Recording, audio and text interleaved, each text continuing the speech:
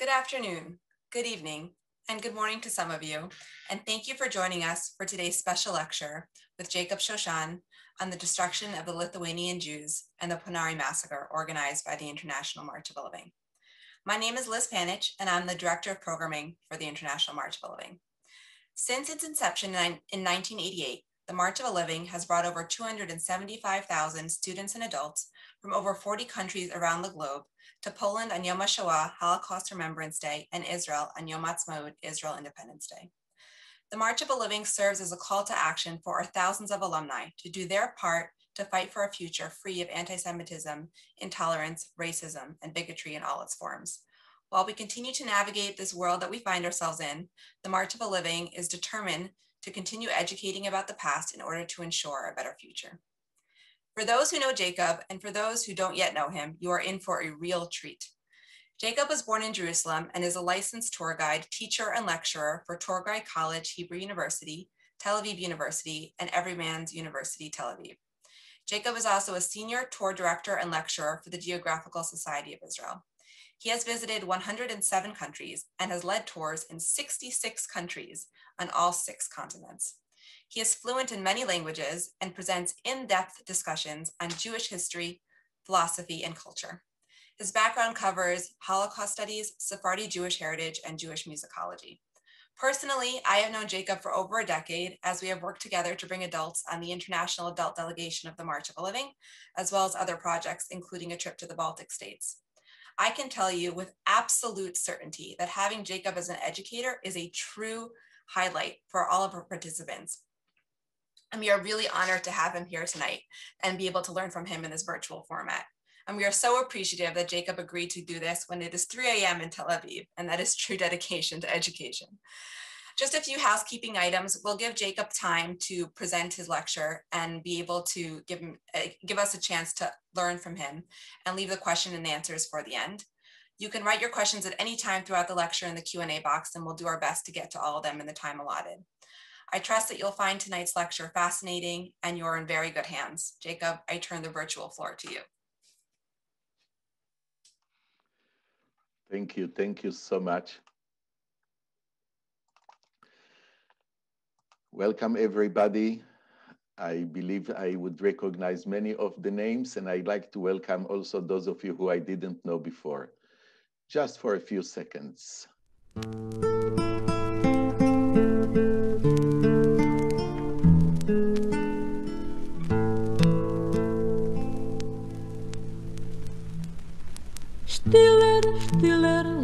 Schweigen, quorin wachsen.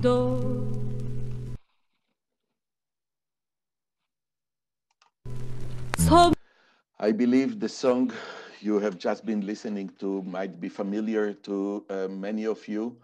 If not, you'll make a note and you'll be able to listen to this uh, recording later on and listen to the rest of the song. But this is one of the most famous things that came out of the Ponar story. We'll talk about it later on. In order to talk about the destruction of the Lithuanian Jewry, we have to relate to all three Baltic states, being Estonia, Latvia, and Lithuania, plus destruction, killing, and massacre took place there of Jews who were brought from many other countries in the continent. Actually, we look at a very interesting story of what happened to these regions. This happens to be the Pale of Settlement. For a long time, Jews were restricted. They couldn't live just anywhere they wanted. You know, they were wandering and being expelled and being persecuted and suffering atrocities for centuries before the Holocaust. But in the late 18th century and through the 19th century, Jews were, and early 20th century in many places, they were restricted to live only in a very limited area, which is the Pale of Settlement. This uh, region which we are going to discover uh, happens to be part of a very interesting organization that has ruled the high seas and the shores and some routes in the continent of the Hanseatic League. There were tradesmen, there were merchants, mostly they were Germans who set shop in many different ports around. And Jews wandered and Jews settled in an area where they can benefit from this kind of network, the Hanseatic. They were not admitted as members of the league, of the guilds, of the trade union or whatever, but there was a chance for them to do business, especially the one region we are talking about, which is the eastern region of the Baltic Sea. Many of us know a lot, of course, about the Holocaust, which one of the first association would be gas chambers, killing six million, all these uh, notions float in our mind. But today I'd like to highlight a story that is, a, or a concept that is a little less known. Two and a half million Jews were not killed in the gas chambers, they were shot. So that is what we call the bullet Holocaust. We don't often think about it. When we think about Western Europe, Eastern Europe, again, we mentioned trains bringing them to death camps, death factories, factories of death, literally, on the eastern part uh, of the continent. They were killing them everywhere. Death camps, as such, uh, were built on Polish soil. by the Germans who operated them, and the Germans killed them. But when we look around carefully, we see there were many, many cases where they didn't take them by train to the, to the gas chambers, to the camps. They sent what they called these mobile killing units, the Einsatzgruppen, who shot them in situ, who shot them in the place. So here we can see a map showing us a few of the many, many, many, literally hundreds of locations where Jews were killed by these Einsatzgruppen.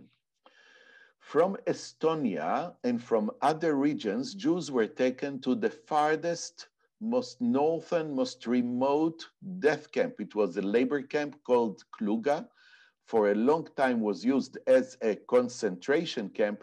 And when they realized they were able to send people there because they could use them for labor, they did not hesitate. Jews were rounded up from many different localities, from many different communities in this region in the Baltic states and sent, thousands of them were sent to this location in Kloga. The pictures would be familiar. They were taken in this region, but unfortunately we've seen them in so many places, the humiliation, the insult, the abuse, the degradation which took place there and then soon as they realized they were losing it, and when the Russians were approaching, they could hear them, they could see them, they uh, hurried up and killed the remaining thousands of Jews that were still in this very, very far concentration camp, and eventually turned out to be the killing place of Kloga, that's in Estonia. Today, in the site, there is a memorial. Most of the barracks were dismantled. And actually, those of you who have visited Yad Vashem in uh, Jerusalem, the memorial, uh, the Holocaust Memorial in Israel, one of the first pictures, soon as you enter, text talks about this event. As you see, just a few days before the Russians arrived, they have killed more than 2,000 Jews.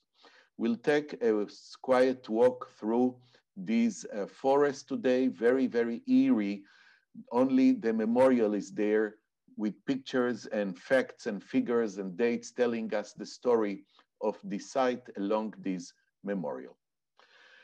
Very interesting to note, I think you all know this document very well from the Wannsee conference, totaling and tallying the number of Jews that uh, are still around in this continent. And look at what it says here. Estland is Estonia in the German language. Judenfrei, no more Jews in Estonia, as you see, as early as January 42. Unfortunately, for the rest of them, for millions of them, the next few months meant their end. Most of the killing, most of the liquidation, most of the murder took place within the next 16 months. So by the end of 44, there were only the few hundred thousand Jews in Hungary left, other than the ones in hiding, the ones who were rescued by wonderful righteous among the nations, or the ones who were joined the partisans, the freedom fighters of various nations around the world. By the way, I put here a picture of a book which I highly like to recommend. Believe it or not, IBM and the Holocaust. To tally the number of Jews they had to use, maybe the very first version of what ended up being computers, some kind of adding machines and calculating machines. But that, uh, that is a different story. Just I had to mention how was this list created. When we talk about Lithuania, those of you are familiar with this Yiddish term Litvaks. Litvaks means the people from Lithuania, but in reality, if you look carefully, it was not only Lithuania that the Jews who settled here uh, were called Litvaks. Actually, it includes big portions of neighboring Latvia, neighboring Belarus, neighboring Poland, and big chunks of what is called Königsberg. Today is a Russian territory, uh, separated from mainland Russia by Lithuania. It's called Kaliningrad, but that was a major Jewish settlement. And when you talk about the Litvaks, look at the very large area it corrects. Some of you might have heard in your house the different uh, discussions between the Litvaks, the Galicianers, the ones who put salt in the gefilte fish and the ones who put sugar and so on. So this is the land of the Litvaks, as I mentioned, including uh, big areas of the neighboring countries as well. We moved to the neighboring country from Estonia. Now we are outside of Riga in Latvia, the capital of Latvia. And it is here that a big ghetto was created, a ghetto that housed not only the local Jews from Riga, but Jews who were brought from many different localities and other countries. Jews were brought here from Germany, from Holland.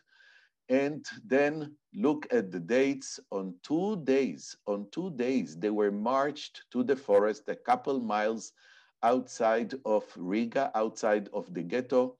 And look, 25,000 Jewish victims were killed and as we have to mention today, as we always have to say, unfortunately, the Nazis could not have done what they did on their own without very, very generous assistance extended to them by local accomplices.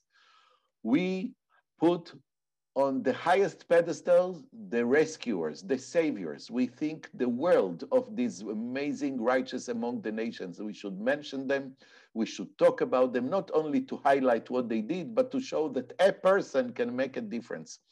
At the same time, we must address the fact of local accomplices. And that was the case here just as well. In the site of the killing fields, there are a few memorials, and that is another subject that we are very, very active doing. Those of you who know me personally, you know how adamant I'm about it and how what kind of an activist about them, look at what the signs used to say. They were the victims of fascism, written in, in this particular case, written in Latvian, in Russian, and in Yiddish. But if you don't know Yiddish and you don't know what that language is, you might not associate it with the Jews. There were dozens of such memorials erected finally with the insistence of Jewish groups and others but most of them never mentioned the fact that the victims were Jews. And in this particular case, there were only Jews here. It only says the victims of fascism. So now big work is being done to rectify, to change it, to correct it, and to add the information saying, my goodness, this was the killing fields of all these tens of thousands of Jews. On the site of the mass graves, they've erected these memorials, and we move on and we finally enter Lithuania. Some facts and figures about uh, Lithuania. Vilnius, of course, is the capital, a very small population and dwindling. Lots of the young people are leaving the country, moving to other locations in Western Europe now that they are part of the European Union. But look at the number of the Jews. Guys, we're looking at a country with one of the highest percentage of the loss of Jews uh, so many of them uh, were killed during uh, the Holocaust. Now, as you see, a very small community still lives here, along with many other different ethnic minorities. Lithuania was dotted with dozens and dozens of such small towns, as you probably know the word shtetl. These were the small shtetls. uh, in which uh, Jews somehow survived. Some of them, some of them did better. Some of them suffered and toiled for a living. In some localities, some of the original houses still survived. Hardly anybody had a brick house. They lived in these wooden huts. And uh, today you can still visit, people still live in them. They fixed them up, they added some floor and nobody had real floor at the time. Most of them had like compacted mud with some rags that they put. They didn't have money for carpets or rugs. And uh, it's quite uh, uh, moving to be able to see some of these remaining houses and evidence to the existence of the Jews in this place. Yet, as poor as they were and as tough as things were, they were very, very careful to make sure their children will get Jewish education. Some of them went on to have uh, general studies. They published newspapers. They were uh, literate, at least. They could do the prayer services. And as you travel today through these um, communities, in many, many of these localities, you're going to see some memorials. For example, this is in Shedova, and uh, they are in many other places. Like here, we come to a very interesting town called Shaulai, Shavli, the Jews called it in Yiddish, and a very interesting story of this gentleman. He's so celebrated, he has his own memorial uh, in this town, right outside his house. He was a owner of a factory, one of the largest shoe factories in the continent. They were producing and exporting both to the east, to Russia, to the Tsar Empire, where 19th century, earlier 20th century, and to Central and Western Europe. His house was turned into a beautiful museum. Now they use it for functions and whatever, but it's interesting to visit and learn the story of this place. He helped build accommodation for thousands of his employees, and that was a synagogue that still survives. That's what it looked like at the time. Uh, and the synagogue still survives. Hopefully, it will be fixed. Not far from there, a ghetto was set up, the town of Shauliai, or as I mentioned, the Yiddish version, Shavli. The ghetto occupied the big section of central part of the city. This is an aerial photography of the ghetto. The ghetto itself at the same time was a labor camp in the crowded lanes in between the houses and the barracks where they kept them. They've built what they called shops. They built small workshops and small factories and sewing and whatever other kind of work they could do. They did it on the premises of the ghetto. Of course, suffering at the hands of the Germans and at the hand of the local police. Uh, this Country, this countryside we travel through from one small shtetl to the other had some of the greatest yeshivot. One of the big things that denotes Litvaks are the fact that they were the ones who opposed, in many locations, they were the ones who opposed the Hasidic movement.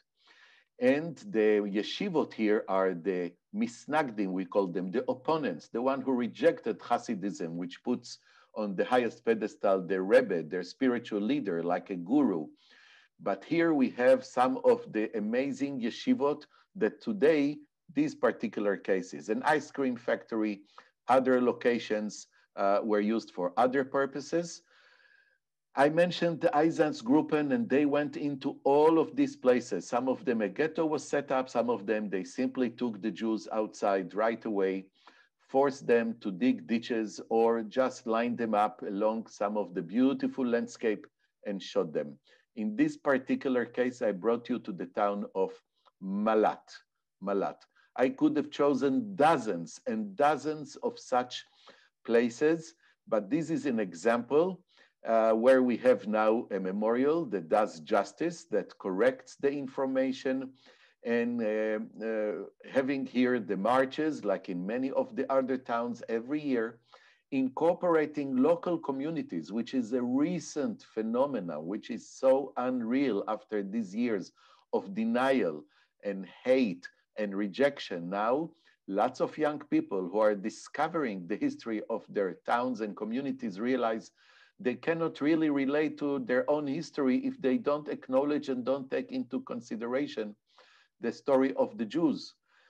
Here we have, in addition to the main uh, killing field, we have a few more memorials in the same town where in one location they took out the men to be killed, in another location, not far from there, women were taken to be killed in addition to the mass murder that took place there.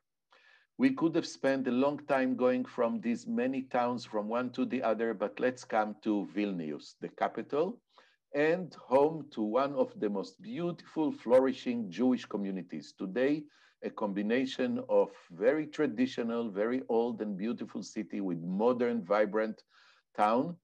This is the center of town, the big cathedral, and an interesting story here about a, a person who was uh, set on fire.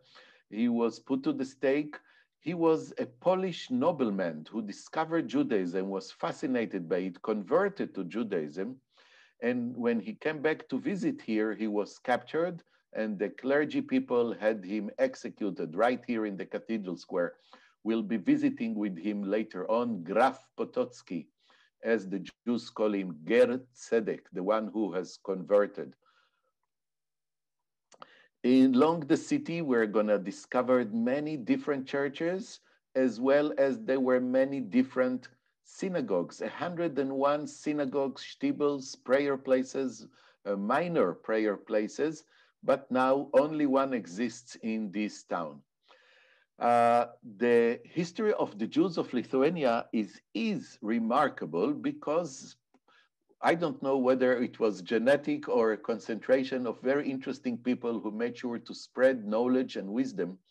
But we had here one of the largest concentration of the greatest intellectuals, the writers, the poets, the painters, the sculptors, the musicians, the singers, such incredible names that you are going to find out. Yet a very pious, very, very orthodox community. This was the great synagogue, which was located in what we call the Schulhof. It was like a courtyard with 11 synagogues next to each other. People prayed with their peers, some of them prayed with their social class or with their families or professions. Unfortunately, this synagogue, which held some of the most wonderful services, who invited and summoned here some of the great cantors, the Chazanim, who came here from all over. The synagogue survived the war, did not survive the communist regime when the Soviets took over after the war. The synagogue was devastated and now it's an empty field. Actually, it was dug up recently and they found the mikveh, the ritual bath of the synagogue, so it is uh, quite uh, fascinating to walk around. It was very sad, but quite interesting to learn about what happened here in these narrow lanes of the Jewish quarter of Vilnius, or Vilna, or Vilno in Polish, Vilna in Yiddish, different languages, different pronunciation, the same town, the town of Vilnius. Uh, another interesting story to tell, it was a center of science and of Jewish science. For example, here is the YIVO Institute, which still exists today. It was moved, luckily, with lots of the treasures and the artifacts and the books and the manuscripts was moved to New York, but this is where, where it was set up by this amazing person, Max Weinreich, both father and son, were busy. And this is what you can see today if you go to Manhattan on 15th, 16th Street, uh, right off Fifth Avenue, there is the YIVO Institute, which also houses the Museum of Yeshiva University, the Sephardi Federation. Quite a lot of Jewish institutions are located in this location. This is a picture of the lady who is the president of Lithuania visiting the YIVO Institute and they are standing, all these people are standing right in front of the picture showing the ghettos which were set up in Vilnius. Uh, today, more and more signs, more and more memorials are being put up. This one is to commemorate the YIVO Institute.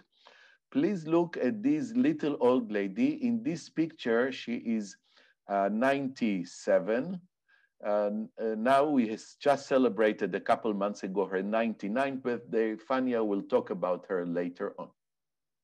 Look, please, at this map. This map shows us the many, many, many different Jewish communities that existed on the land on the territory of Lithuania. We mentioned Šiauliai, and there was Ponevezh, the yeshiva, Kovna, Vilnius.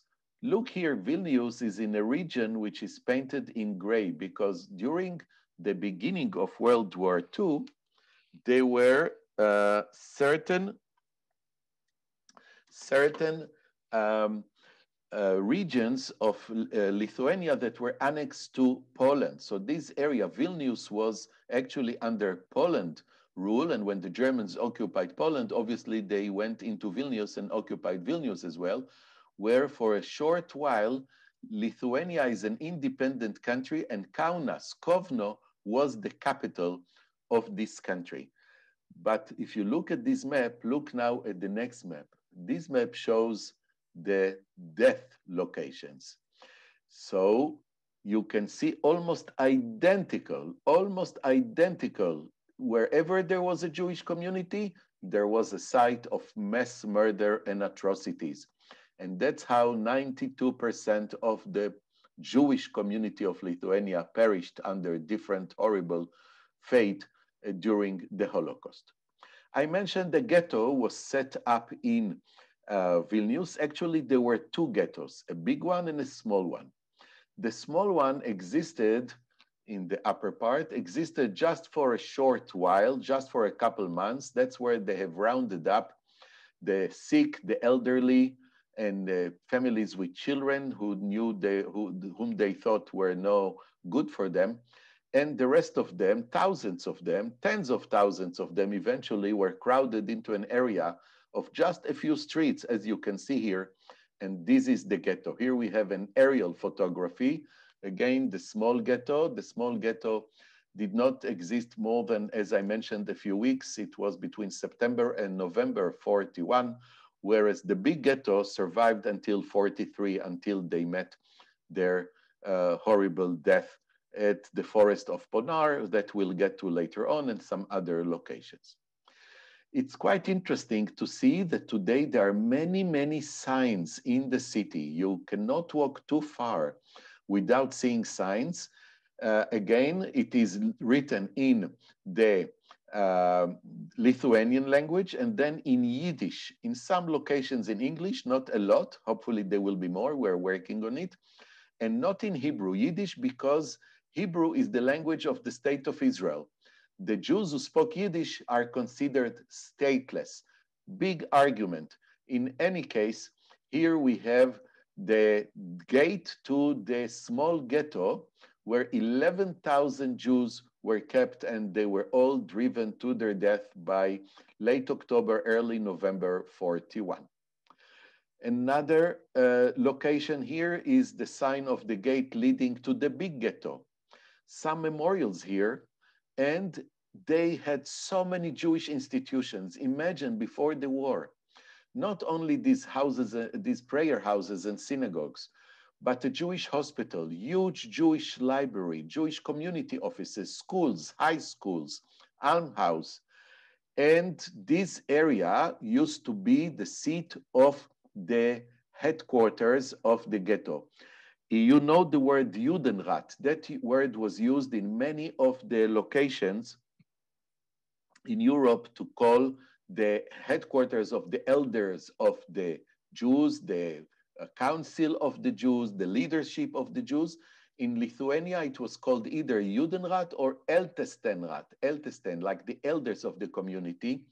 And this place managed to do one of the most impossible jobs to keep life going as normal as possible. The doctors worked hard and they managed for over two years to avoid the spread of pandemics, having no material, hardly any medication, and education continued, cultural life continued. Um, unfortunately, this is the place where they would have to distribute the work permit, which meant a lease on life, at least for one more day. And I always think of these people sitting there, the elders, the heads of the communities, and my goodness, they had to play the role of God. Who are we to decide who's to survive, who's to work?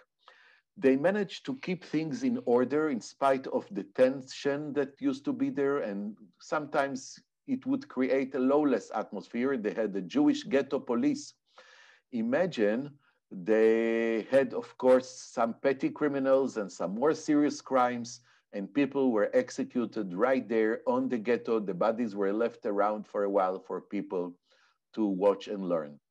What I find mind boggling is when I mentioned culture, a theater functioned, orchestras played, music was written, composed, and performed.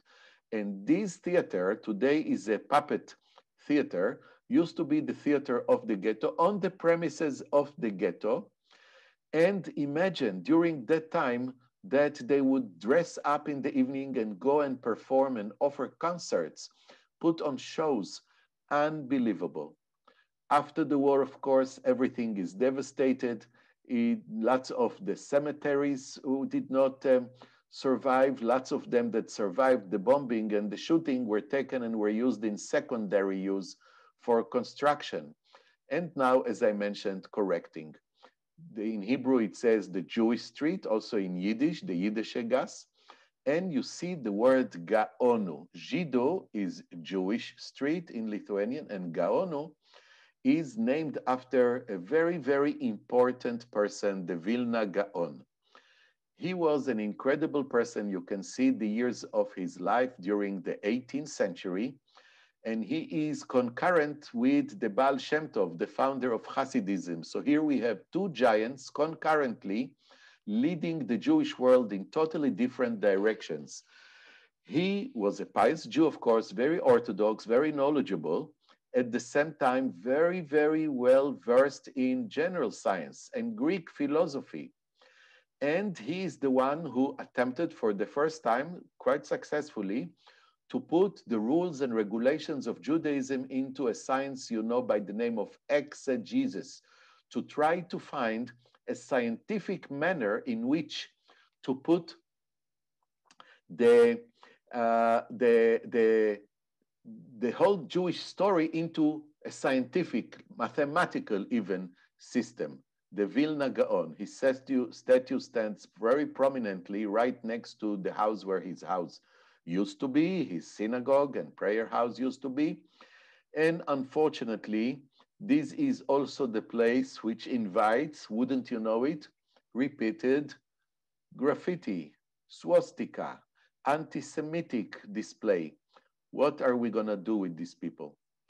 One of the people who was very active in the foundation and existence of the YIVO Institute was this Jewish doctor, Dr. Tzemach Shabad, and he would tell stories to the kids. He was like a Dr. Dolittle with the animals and so on. And children used to like to go to see the doctor uh, because of his amazing stories. Another addition uh, to the streets of the former Jewish quarter is the Jewish water carrier. The same artist who did Dr. Tzemach Shabad has done this statue uh, because uh, it is something to be told. They didn't have running water in the house, and some of the poor people who were not educated, that's what they had to resort to make a living, to go to the water, go to the river and fetch water and carry it on their backs in these buckets to be taken into the houses. I happen to personally like very much what he did with the facial expression of the water carrier. This is a very recent statue, was put there just about a year ago out of all the synagogues, that's the only synagogue uh, that still exists, and that's the only place that still functions as a synagogue. Actually, it was a private synagogue from early 20th century, and uh, inside is the only place where we can sit and talk and reminiscence, and also attend services if there are enough people who come. The old timers that used to come here and sit around and kibitz and schmooze and talk are no longer, I'm afraid, around. Many of the young people either go to um, about their business, or there is a new Chabad Lubavitch Center a little further away, which holds services in the place, in the house of the Chabad rabbi. As we walk around in the streets of the former Jewish quarter, we would have uh, seen these names of the Jewish merchants they had a publishing house, a very, very famous publishing house, Widow and Brothers Romm, who published Hebrew, Polish, Russian, Yiddish. They had the most famous version of the Babylonian Talmud, the post-biblical scriptures. They published newsletters and the, the stores had the signs written both in whether it was Russian or Polish, depending on the period. And in Yiddish, you see the names of the owners. And now as they go and they fix some of the old houses, they remove very carefully layer after layer of plaster to see the Jewish uh, language sign, the Yiddish sign of the stores in this particular place. Uh, they uh, uh, sold in this particular shop, for example, they sold kerosene, gasoline for the house. You see kerosene, nafta in uh, the local language.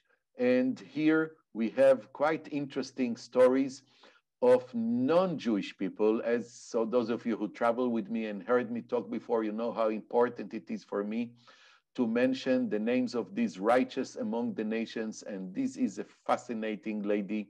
I will not go into telling her story, but um, you will look her up and she is unbelievable in the way she helped save Jewish children from the ghetto. Here, this greenhouse, as we call it, was um, used by the local authorities with the Communist Party. The police had their, uh, the Communist Police Museum set up here. But later on, it was converted after the independence 30 years ago by some of the local Jews who survived the ghetto, survived the Holocaust, and it was turned into a small Holocaust museum. Temporarily now, it's temporarily for over 25 years, but a new one is being erected later on. Look at this statue done by a Japanese artist. Why do we have a Japanese artist? I guess many of you will guess. We'll talk about the amazing Japanese story of this country later on. Inside, we'll walk, it's a very small museum, but it manages to encapsulate lots of the stories of what was here before the war and what happened during the ghetto and what has followed. This lady, may she be healthy, uh, is still around. She, unfortunately, she's not well into her 90s. Not only did she survive the ghetto, she ran away and she was part of the partisans fighting against the Germans, and she was the director of this museum for many years and a docent, of course. Many of us have traveled with her, and we were walking around, and she was uh, guiding us through the museum for many, many years.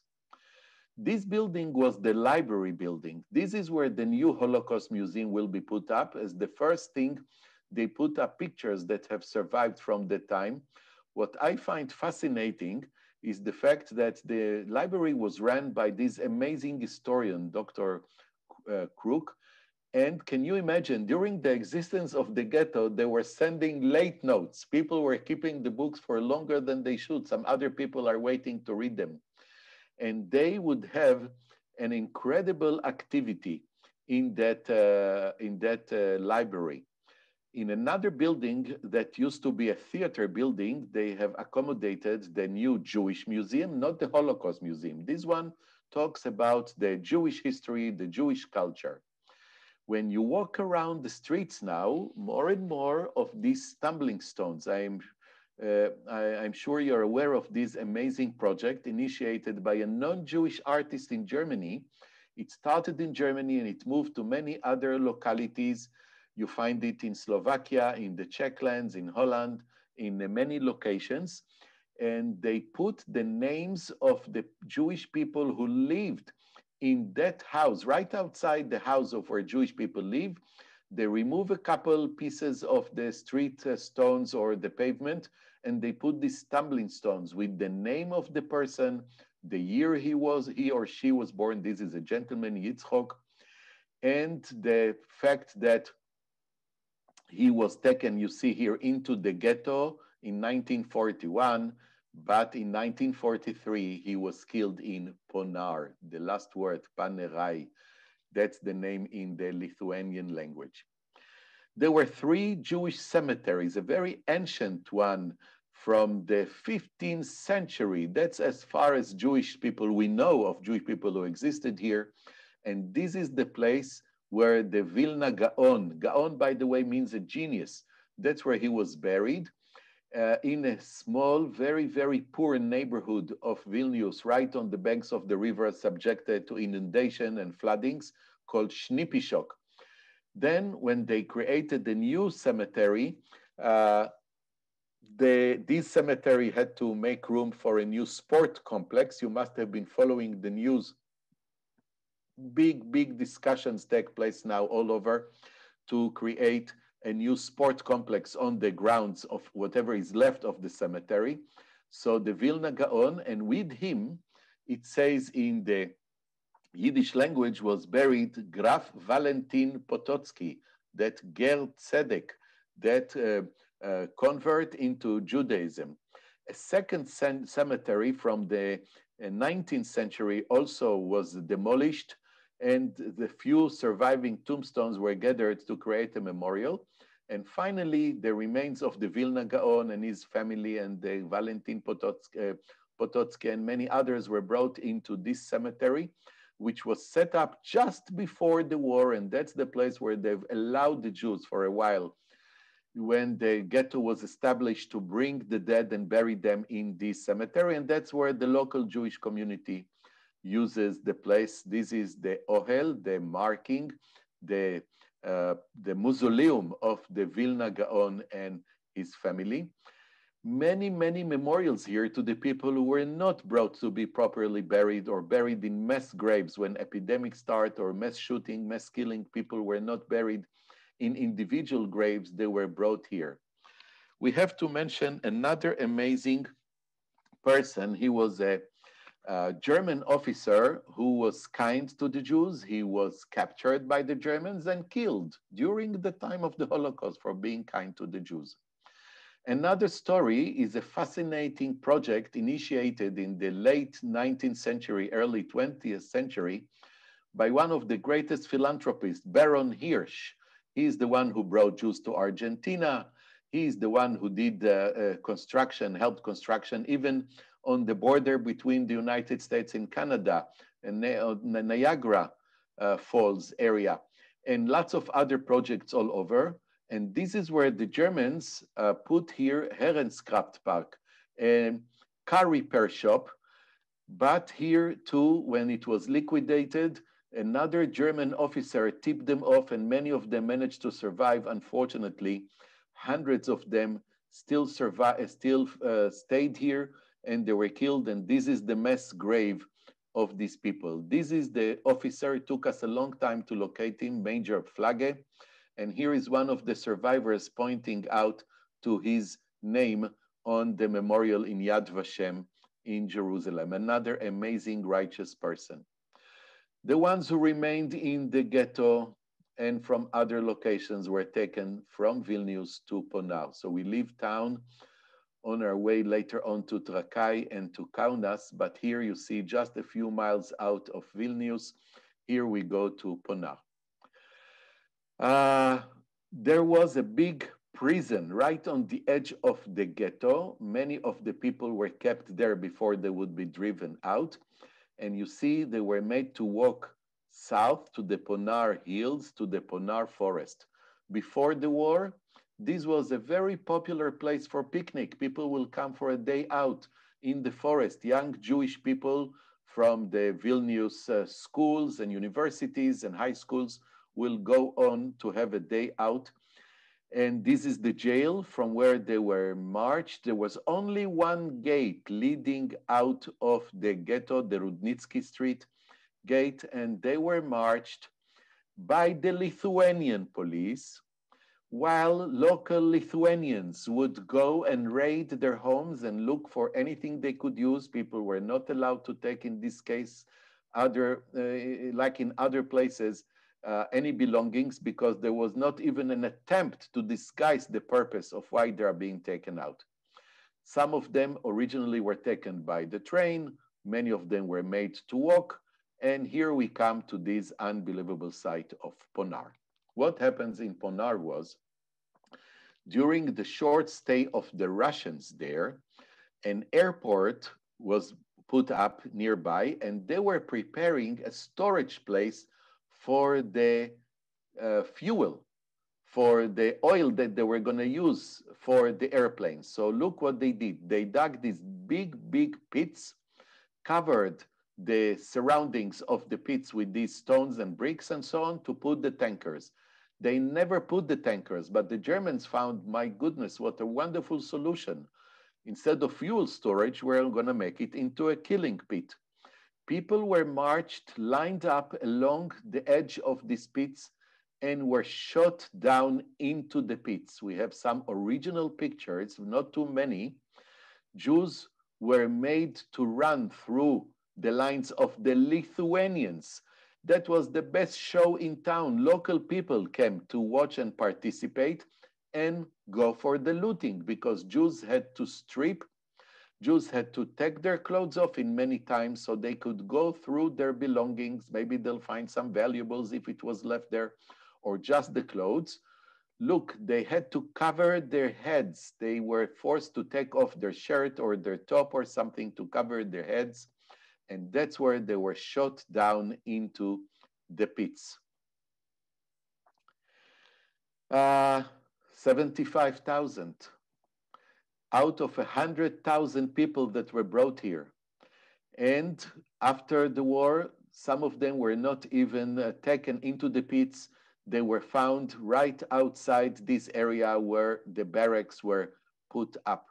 We have some amazing testimony, very rare one, of a German officer who writes it. The story is, how do we know so much? Is because of this gentleman, Kazimierz Sakowicz. He was a Polish journalist and he watched the people walked and he actually was counting the shooting. He could hear the shots. And that's how he could calculate, and that's how we can come up and tally the number. And this is one of the upsetting stories I was telling you about. They put a sign up written in the Russian language and in the Lithuanian language, but it talks about people. It doesn't mention Jews. And that's why it was so important for us to put, you see, like to move these pieces apart, kind of, and insert in the middle a correction, seeing here in the forest of Ponar from July 41 to July 44, the Hitlerite occupiers and their local accomplices have annihilated 100,000 people. 70,000 of them are Jews, men, women, and children. Today, actually, the number is closer to 75. So this is something that I mentioned. We are very busy walking around, traveling around all over to correct and rectify and put the facts. A march is being held here every year. Uh, there are different uh, Holocaust commemoration dates in Israel, of course, we follow uh, Holocaust Memorial Yom HaShoah to commemorate the onset of the uprising in the Warsaw Ghetto on April 19. We use the Hebrew date.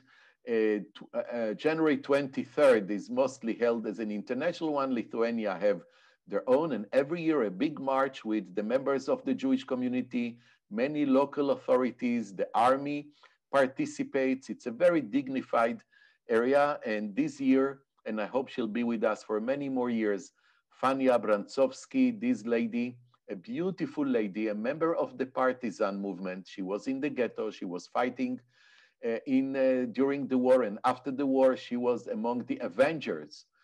And then for many years, she has been working, can you imagine to date, walking with a walking cane, she is the librarian of the Yiddish department in the Vilnius University.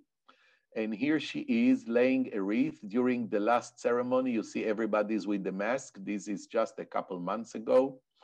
And here she stands and she sings the uh, partisan song, along with a very interesting lady, Maria Krupoves, a non-Jewish lady, a Lithuanian of Polish descent, who is fascinated with the Jewish story. She studied Yiddish and she sings. She's a professor of anthropology in the Vilnius University, dedicating her life to Jewish musicology and especially Yiddish songs from before and during the existence of the ghetto.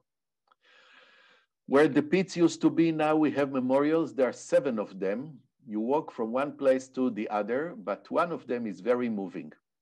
When the Germans realized they were going to lose the war in an attempt to hide any evidence of their heinous crimes, they have created a small bunker in one of the pits. Every night, they would bring down what they call the Sonderkommando, a few dozen Jews who were made to do the gruesome job of digging up, exhume the bodies, and burn them.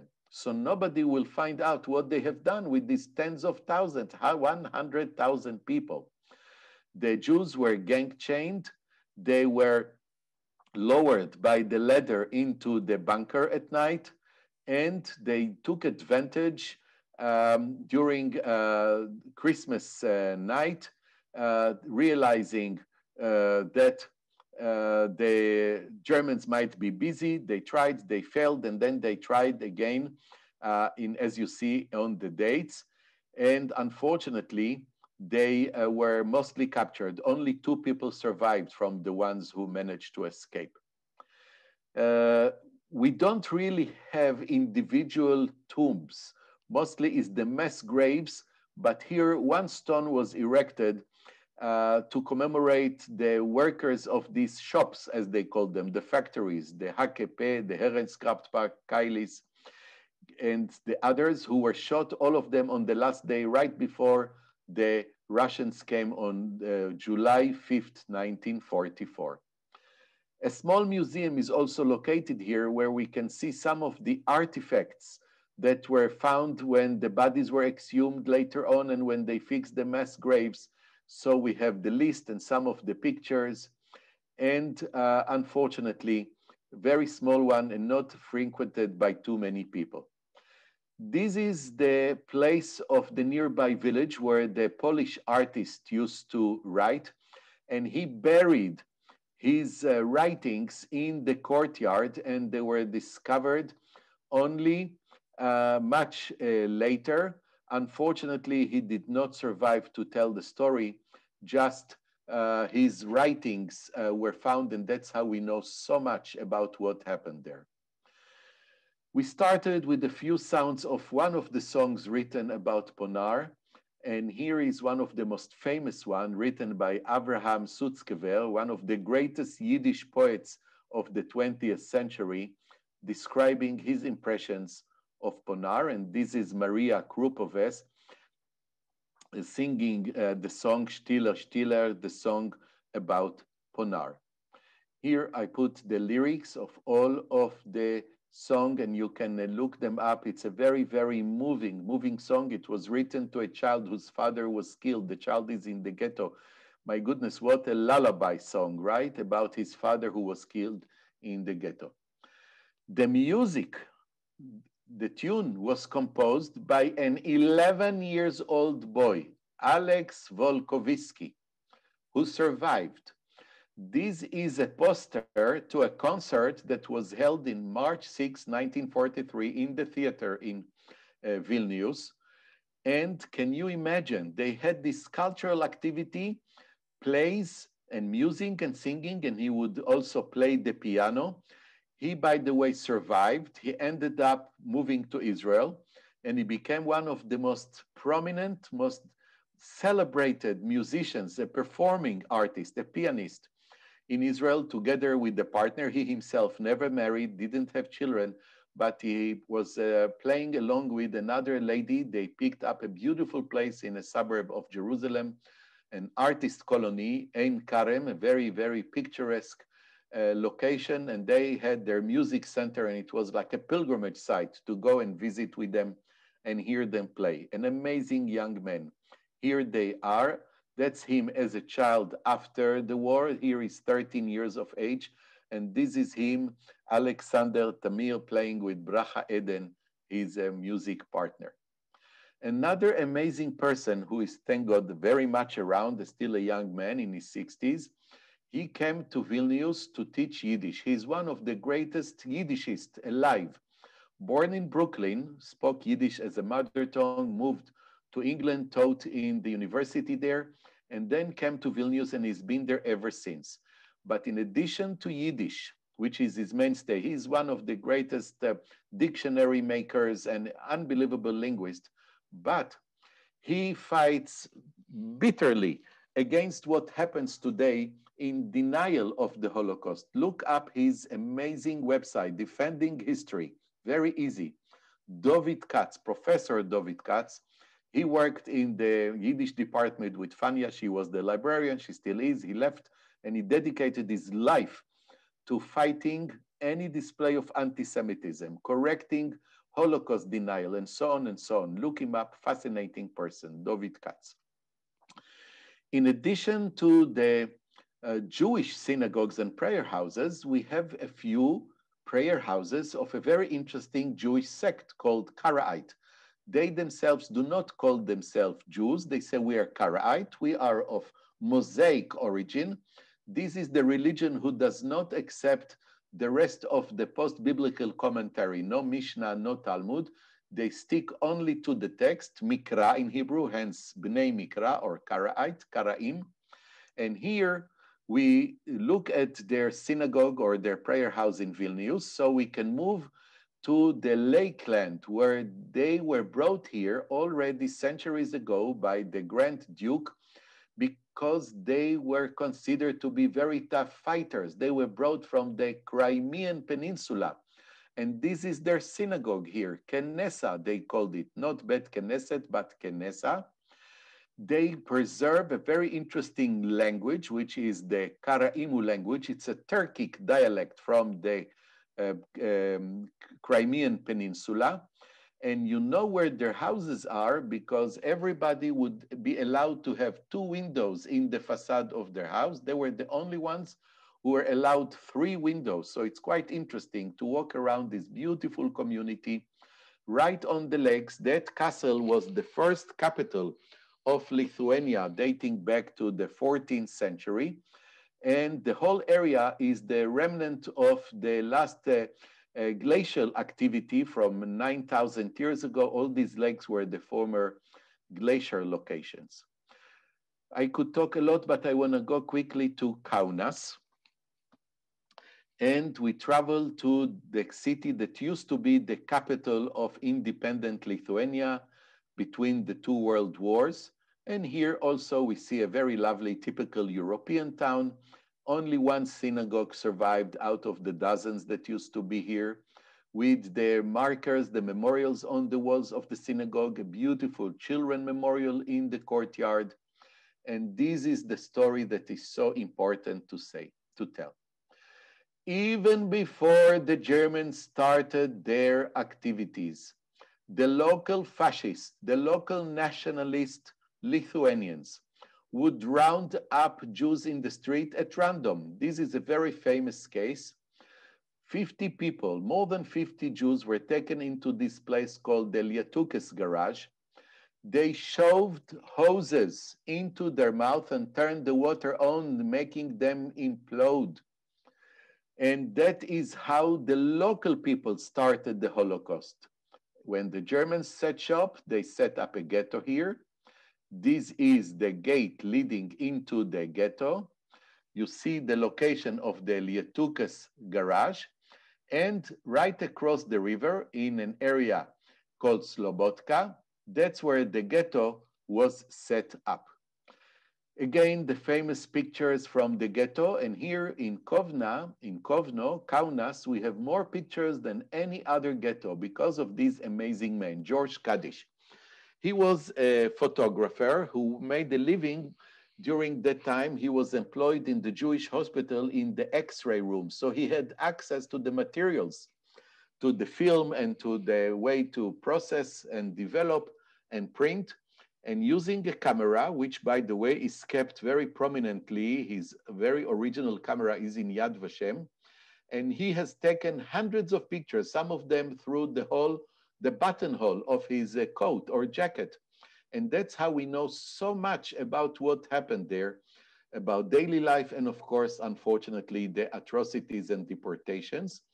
As you have seen probably in other places, the, one of the streets that was used by the local population went through the ghetto, the main street. So a bridge was put up so people can move from one side of the ghetto to the other side without going through the street of town. And these pictures are an amazing source and also a very moving one, one of the most famous pictures. This writing on the wall was written by somebody who was just shot. He is dying. He uses his blood. He dipped his finger into the blood and he wrote on the wall, Yidden, Nekume, Jews, revenge, Nekama. Another very moving document was written by Elhanan Elkes. He was the chairman of the Judenrat or the Ältestenrat.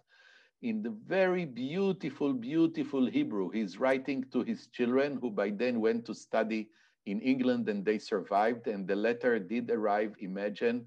He writes uh, uh, the letter in November 43, so shortly before the end. One of the famous buildings that still exists on the territory of the ghetto is the yeshiva, the Slobodka Yeshiva building. Nothing is there as a school or Jewish other than this sign uh, that says that until the 22nd of June 41 stood here the famous, world famous uh, Slobodka Yeshiva. Uh, another righteous gentleman was this amazing doctor, a Lithuanian doctor, who was working in the hospital, and he would claim all kind of makeup, all kind of stories, and that's how he was able to smuggle and save the lives of many, many children from the ghetto. Around Kaunas, there were many forts. We are in an area which is a border area with Eastern Prussia. The Germans are just a few miles away centuries ago, not only during the war. So the town was surrounded by these kind of fortresses. It was here in the seventh fortress where in 1941, the Germans have killed 3,000 Jews.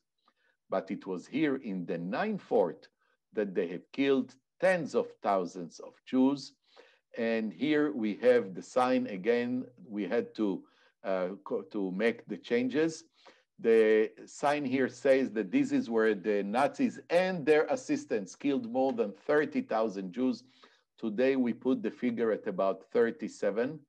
Many of them were simply taken out against the wall and were shot. We can still see the bullet holes and shooting marks of where they were killed.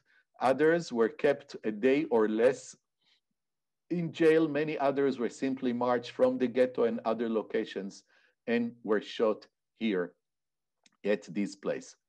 I personally find this memorial to be one of the most moving ones I've ever seen. It was done in the communist period by local artists, but it's a most, it's huge.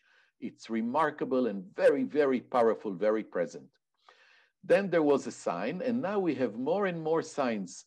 Oh, the city of Munich. Oh, the city of Vienna is lamenting and is uh, uh, feels sorry for the loss of their citizens who were taken here. Again, here were the Sonderkommando. They were in charge of liquidating and burying and burning and whatever with the bodies of the victims. Here, they took advantage of a night where they thought they could escape and they escaped from this cell where they were uh, kept. Most of them, unfortunately, were captured, but some survived and some survived into until a few years ago. Living in Israel, I was privileged to have met a few of them. Some people were driven here and brought here by train, and that is something that is still a confusion, a very big question mark. We found this writing on the wall. Jules Hershkovitz from Ant Anvers. Anvers is Antwerpen in, uh, in Belgium. He escaped to Monaco. From Monaco, he was captured. Remember, the southern part of France was held by the Vichy regime who cooperated with the Germans. He was sent to Drancy, which is this concentration camp right outside of Paris, a detention camp, and was shipped to Kaunas. The next day, he was shot why did they bring the people from so far away from Monaco? They carried them through the whole continent to the far remote northern part of the continent one night and he was shot the next day. Now starts a very special story where Jews fleeing from uh, uh, Poland uh, that is occupied by the Germans come to Lithuania, which is still independent for a while. And they want to escape, but nobody lets them go anywhere. They don't have documents, and who's going to grant them a visa and where could they go? The world is already at war. We are already into 1940. Here is this fine Dutch gentleman, Jan Zwartendijk. He runs the Philips uh, radio factory. They manufacture these radios in, um, in Kaunas. And he sees the plight of the Jews and he has a brilliant idea there are Dutch colonies in the Caribbean, in the Southern Caribbean, Curacao, Aruba. If you want to go there, you don't need a visa. He goes to the Dutch ambassador in Riga, in Latvia, and he asks him to make him a consul, which he does. And he cooperates with the Japanese consul who was sent here from Japan, telling him that if these people claim they go to Curacao, they don't need a visa. Why don't you help them? This is the amazing Chiune Sugihara. Born January 1st, 1900, an easy date to remember, was sent here not really to be any consul. There is no diplomatic job for the Japanese to do in 1940, but this is the time before Operation Barbarossa, before Germany attacks Russia or the Soviet Union and he's sent as a spy. And he set shop in this house. Here he's with his family, with his wife and children. And that's where the Jews came to him, to his office, after Jan Zwartendijk would stamp their paper saying, you don't need a visa to go to Curacao. Here they line up outside his house and he puts this transit visa. What is your name? So and so. And he writes down the name because you see, he, the people want to go to Suriname, Curacao, and other Netherlands colonies. So he grants them transit visa. Actually, it was not so easy. He contacts his government. He says, I'm going to do that. And they said no. He says again, that no. And then he says, if I will obey my country, I will betray my God. And against his government instructions, he issues thousands of visas this is what they put on the sign on the gate. The original gate still exists. They added the sign, uh, Gates of Hope, Visas to Life, Visas for Life. And that's the title of the book written by his widow, Yukiko. I was fortunate to have met her before she passed away a few years ago. And they escaped from uh, Kaunas. They went to Moscow, where from Moscow they would board the Trans-Siberian train to take them to Vladivostok, from which they would continue into Japan, supposedly to go to Curacao, which of course nobody did. From Japan, many of them were rounded up by the Japanese who by now occupy Manchuria and big parts of China, and they were incarcerated, many of them in the ghetto in Shanghai. And after the war, they went to Hong Kong, to Indonesia, Australia, United States, Canada, and of course, many of them came to Israel. This is Sugihara visiting Israel, meeting with one of the survivors, Dr. Zerach Warhaftig, who was Minister of Religious Affairs. His house now, or the consulate, is the Center uh, Diplomats for Life Foundation, and he was uh, reprimanded by the government. He ended up being sent to work as a traveling salesman in Siberia and all kinds of remote places in the Soviet um, Union.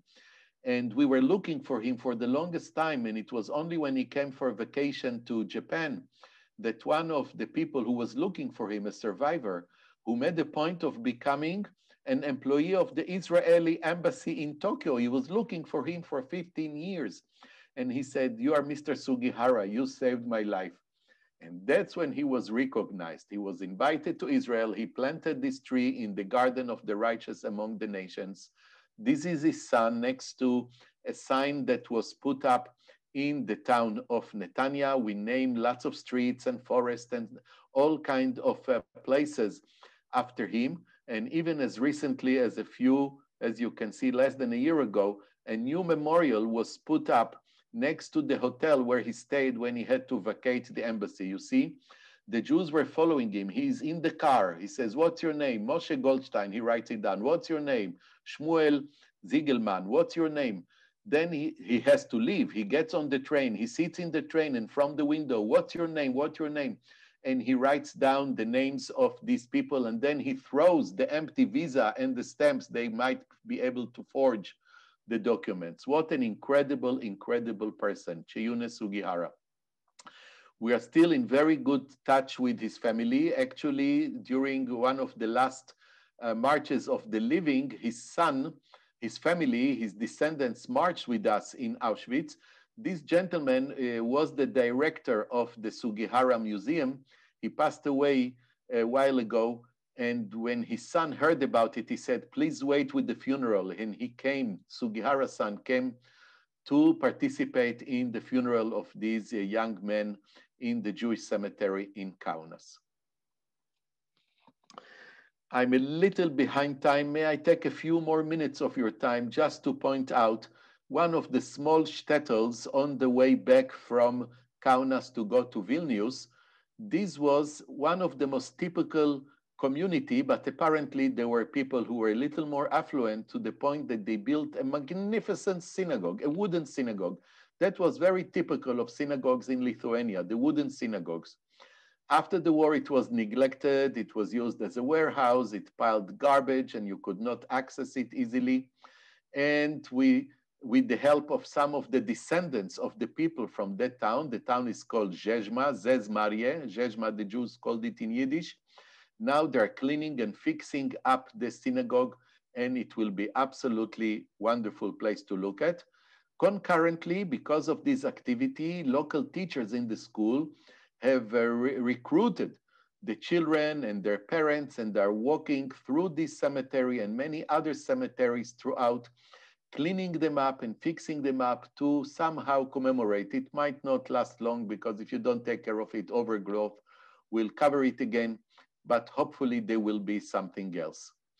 I wanna conclude back with Ponar, where we bring uh, of course, not only the tourists and visitors, we make sure we have a program called uh, Witness in Uniforms. We bring Israeli soldiers and officers as we bring them to Poland. You have seen them marching with us in the March of the Living and they come year round. And we brought them here. And I put here the words of one of the most powerful songs uh, that were written in Israel by a very famous Israeli poet, uh, Chaim Guri because of the fire that was burning there in the bottom of the pit. And I think you can read it for yourself. Very, very emotional, very, very powerful words that were written by Chaim Guri relating to what has inspired us and what is strengthening us, as you can see and as you can read in Israel, and why is it that important that we have Israel and that we have a, a very strong Israel.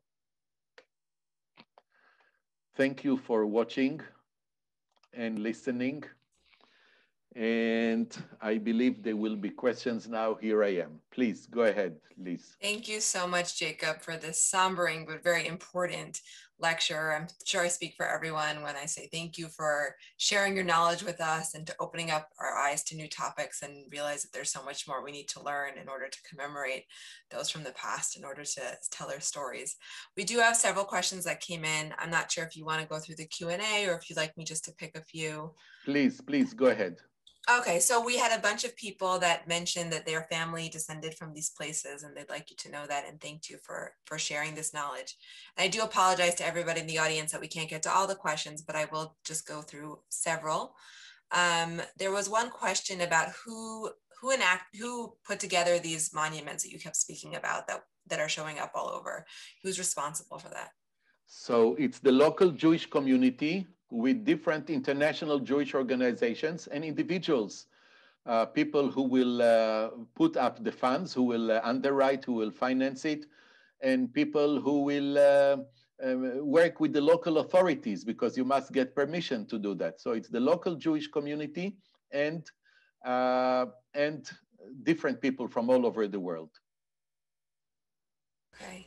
Um, given someone asked, you know, given everything that's happening right now in Poland and uh, you know, assuming responsibility, what is the culture like in Lithuania um, in terms of acknowledging what happened?